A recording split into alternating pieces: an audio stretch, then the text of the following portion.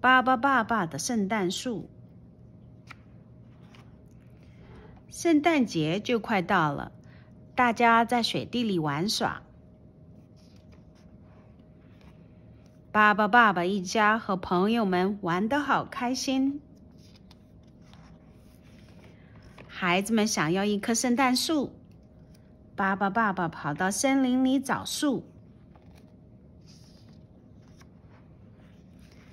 这棵树长得真不错，可是树上住着小动物呢。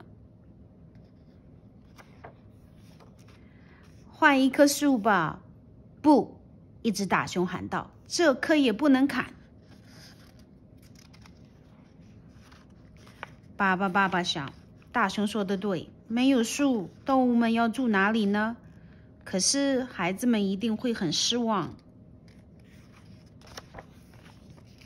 克里克里克里，巴巴变，聪明的巴巴爸爸总是有办法。他变的这棵圣诞树真漂亮啊！